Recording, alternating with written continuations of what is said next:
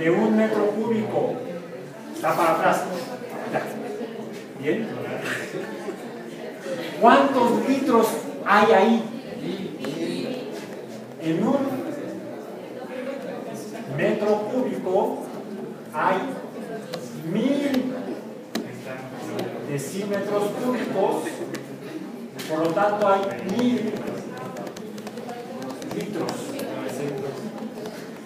Mil litros en un metro cúbico. Muchos platos de cereal. Cuatro mil platos de cereal con corn pops. Es para volverse loco. ¿no? Yo por eso no tomo pops, ya estoy loco. Ok. ¿Cuántos litros?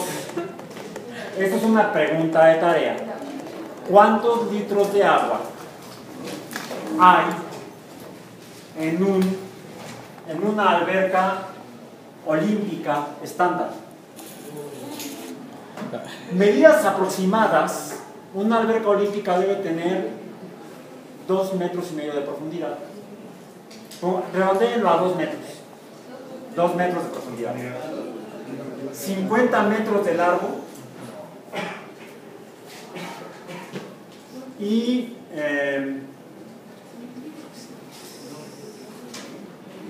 pónganle 15 metros de, de, de, de ancho. La vamos a encostar un poco. Si cada carril mide aproximadamente metro y medio. ¿Cuánto? Son 8 carriles. Redondémoslo a 15 metros. ¿50 por qué? 2.50 y 15. Pongamos una alberca, ¿De 2 de profundidad? Un poquito, ¿no? pongamos de cuasi olímpica. Digo cuasi olímpica porque la olímpica debe tener 50 metros de largo. Para que en una carrera de ida y vuelta se hagan los 100 metros. Entonces tiene 100 metros de longitud 1 o de largo. Eh, pongámosle 15 metros de longitud 2, que sería el ancho. ¿De largo no era de 50? Ah, sí, pero 50 metros. Es que me quedé con la carrera de 100 100 metros, no es mucho. Es una cancha de fútbol. 50 metros. Y pongamos 2 metros de longitud 3, que es la profundidad.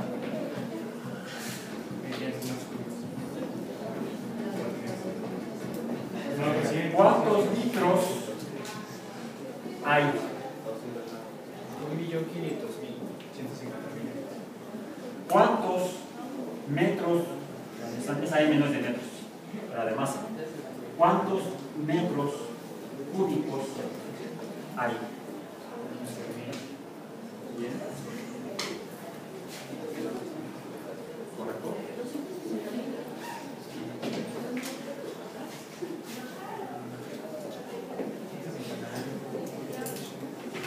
¿Cuál es el consumo de agua para una persona? Por día. ¿Cuánta agua requiere una persona por día? ¿Cuánta agua requiere una persona por día? Ok. Bien. Para darle contexto a todo lo que estamos viviendo. ¿Cuánta agua? ¿Es mucha agua? ¿Poca agua? Mucha. Mucha.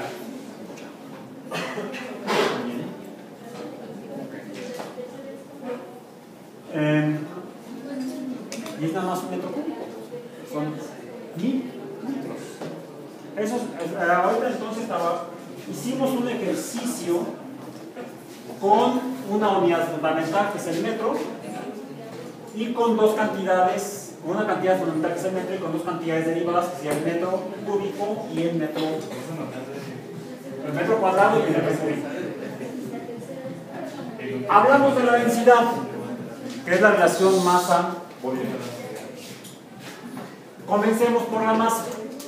La masa dijimos que para medirla necesitamos balanzas. Necesitamos balanzas. Em,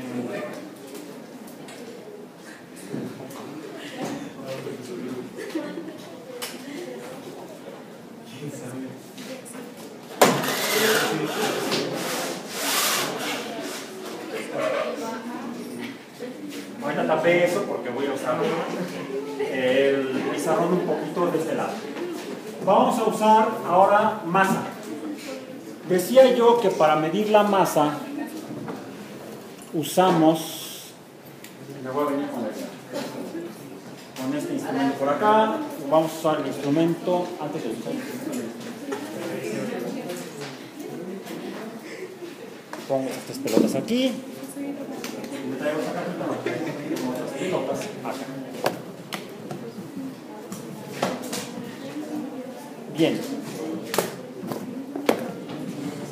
Para medir la masa usamos, decía yo,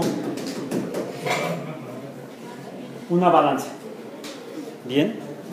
Aquí tengo, aquí tengo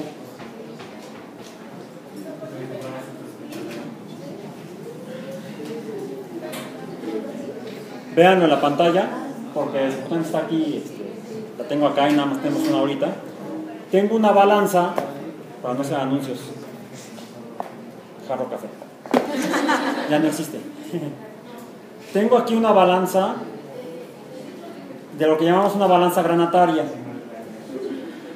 Eh, mide,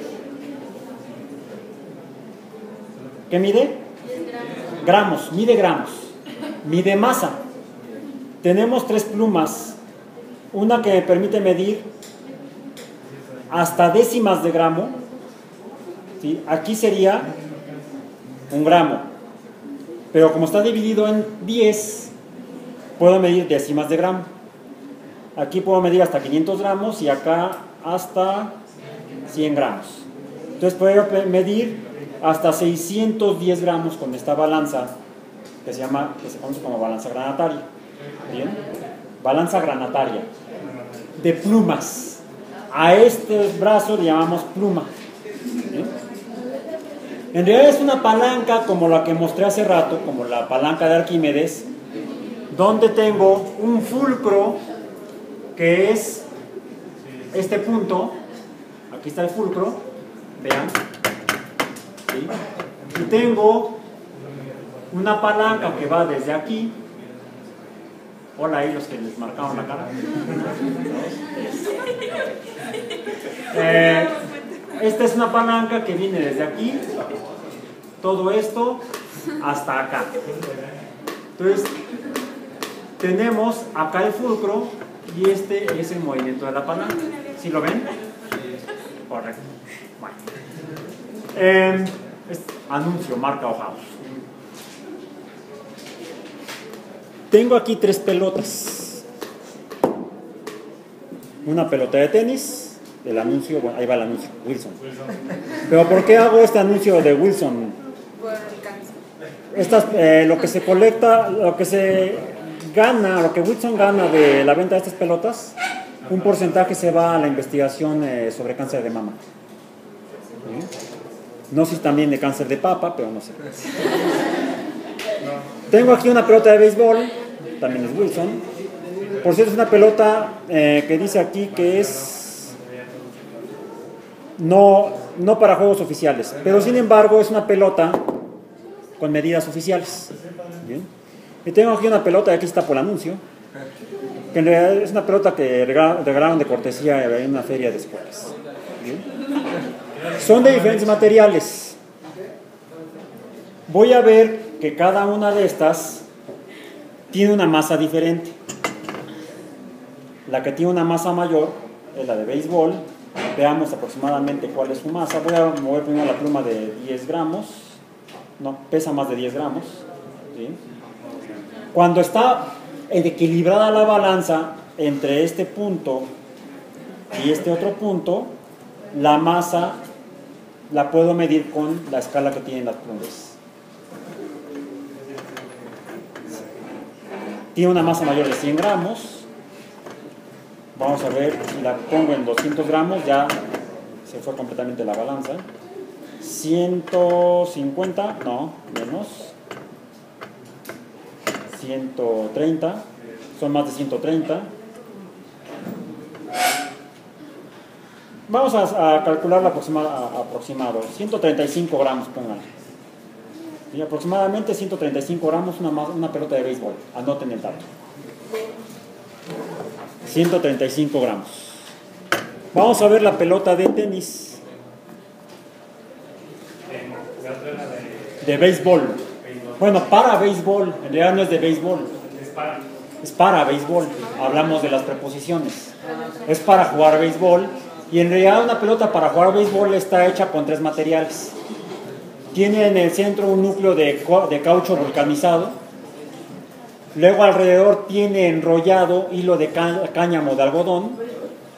Y termina forrada normalmente con cuero de caballo o de vaca.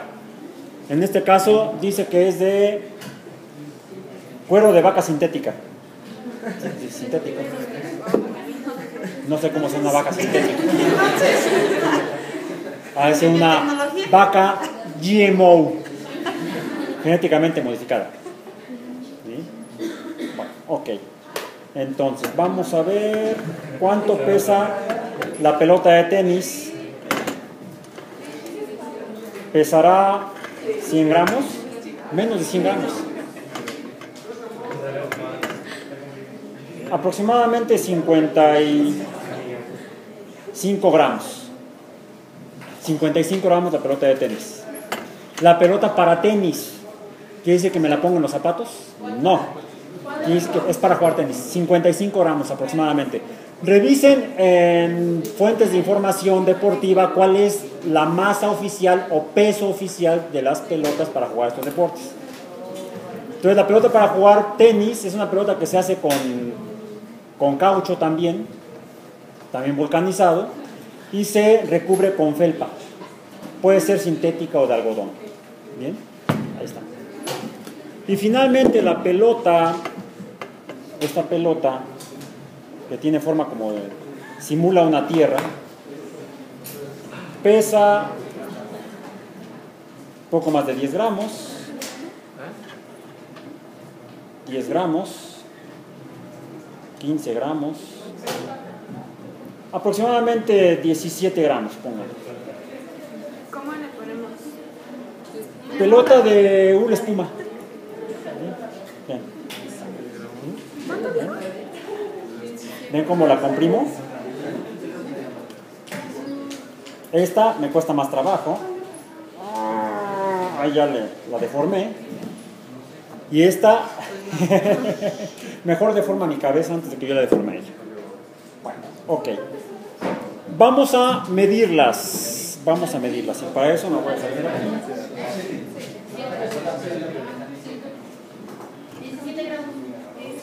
17 gramos.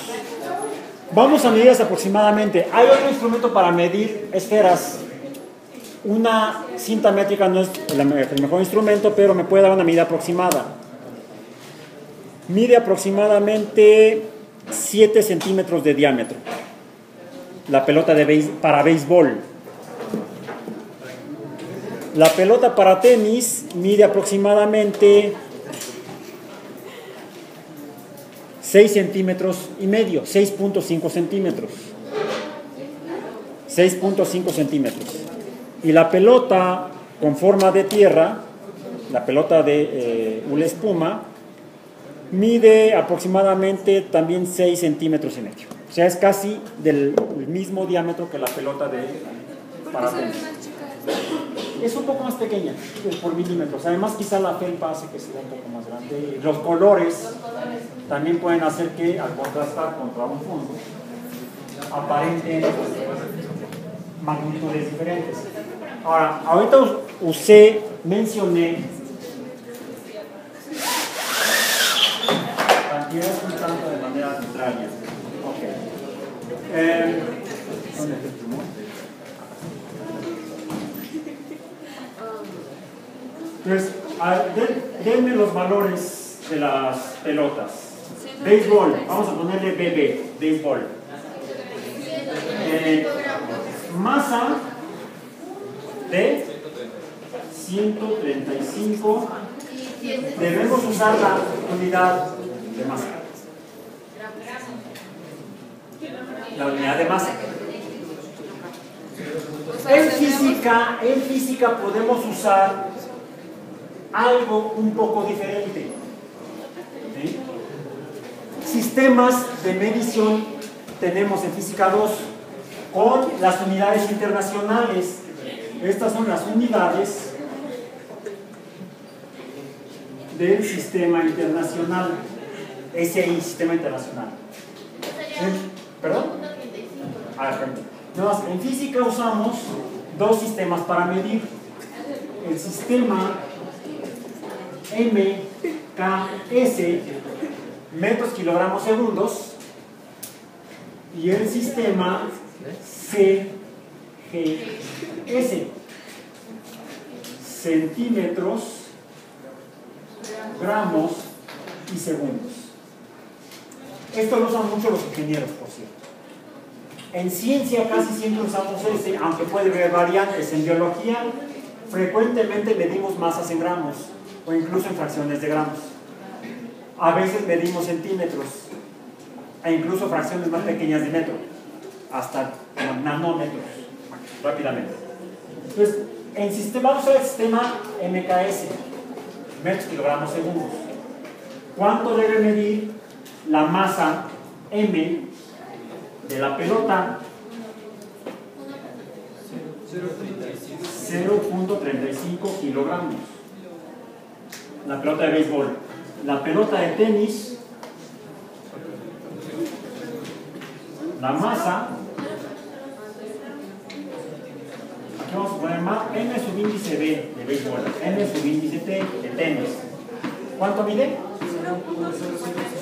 0.055 kilogramos. Y la pelota de espuma, vamos a ponerle E, espuma. La M subíndice E, ¿cuánto mide? 0.017 kilogramos. Ahora, el diámetro, el diámetro, ¿cuánto mide? La pelota para béisbol. Vamos a ponerle L, longitud, subíndice D de diámetro. ¿Cuánto dijimos? 0.007,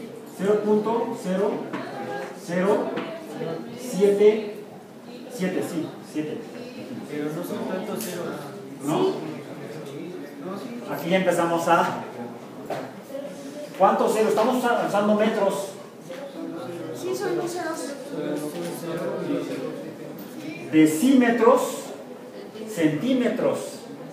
Un cero, el punto decimal. Por cierto, el sistema internacional se usa mucho en Europa, esta notación usa coma. Coma decimal.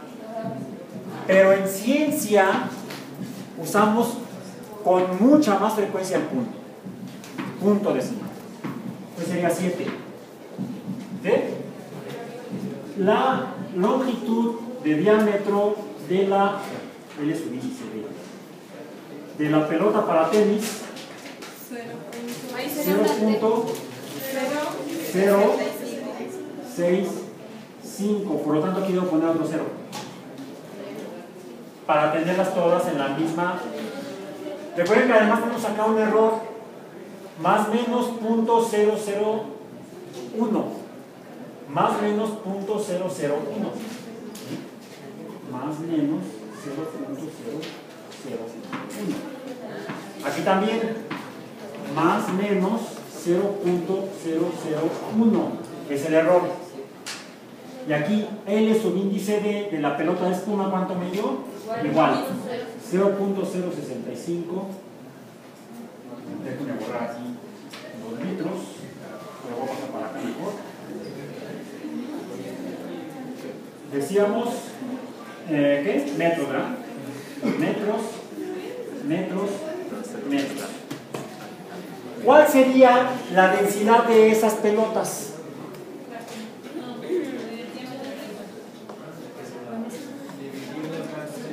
¿Perdón? Necesitamos calcular el volumen de la esfera de cada pelota. Háganlo como tarea. Para calcular la densidad, aquí tenemos la definición de densidad, kilogramos entre metro cúbico. Bueno, correcto.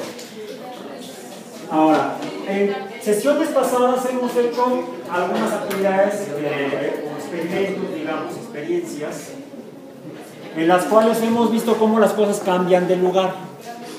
Se mueven, como se movió la araña, ¿sí? Bueno, como la araña también se mueve, las cosas también se mueven.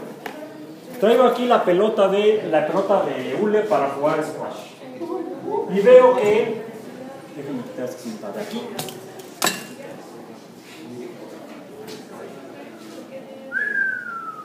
Se mueve, se mueve. Sigue, sigue, sigue. Y el volumen. Y hace un astronauta en un experimento que hizo en la Luna. Eh, ha sido el único que ha jugado golf en, el- en la Luna.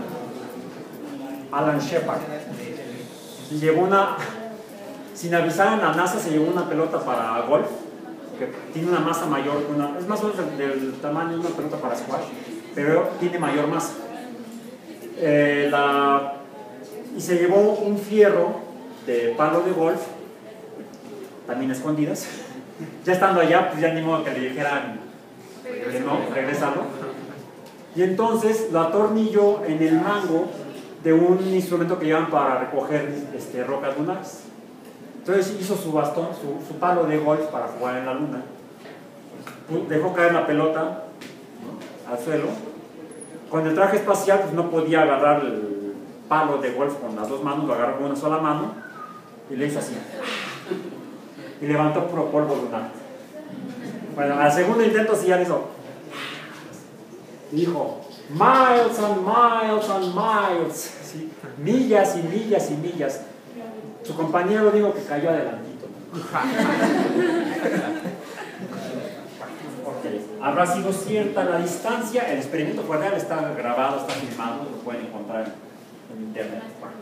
Ok, pero vimos que entonces que las cosas se mueven. ¿Por qué se mueven? ¿Cómo? Antes del por qué, ¿cómo se mueven? Todo se mueve igual. Está pendiente revisar cómo se mueve la pelota en los experimentos que hemos hecho.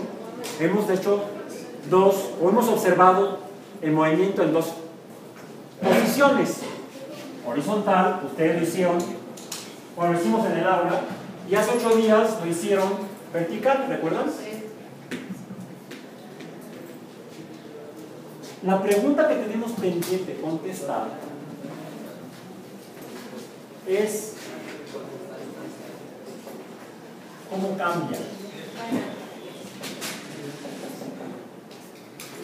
Lo que quieran, lo que quieran. ¿Cómo cambia de posición la pelota? ¿Cómo eh, en horizontal, en vertical?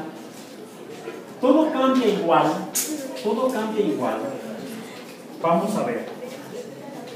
¿Cómo cambian las cosas en forma vertical?